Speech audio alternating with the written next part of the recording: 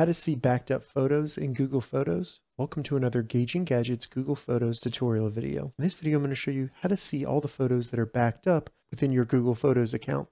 And if this video helps you, please consider giving it a like and also subscribing to my channel because that really helps me out. So there's really two different ways to see which photos have been backed up to Google Photos on your phone. The first way to see your backup photos is to simply open up the Google Photos app on your phone once you have the app open, when scrolling through your photos here, if you see anything that has the little cloud with a check mark through it, that means it's been backed up to Google Photos. Now, an even better way to check your backed up photos in Google Photos is to open up a browser and navigate to photos.google.com. And once you get to photos.google.com, any videos or pictures you see are your backed up photos. So this is everything that's been backed up from my phone to Google Photos.